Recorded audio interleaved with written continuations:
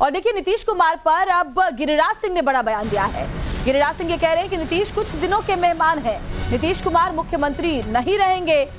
तो इस पूरे बदलते सियासी समीकरण पर भारतीय जनता पार्टी की नज़र है और केंद्रीय मंत्री गिरिराज सिंह ये कह रहे हैं कि लालू यादव ने ये पूरा चक्रव्यूह रचा है और अब बड़ा बदलाव बिहार सरकार में देखने को मिलेगा। नीतीश कुमार तेजस्वी को मुख्यमंत्री नहीं बना रहे हैं।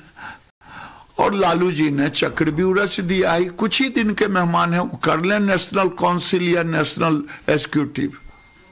अब वो कुछ ही दिन के मेहमान हैं, लालू जी अब उनको मुख्यमंत्री रहने नहीं दें।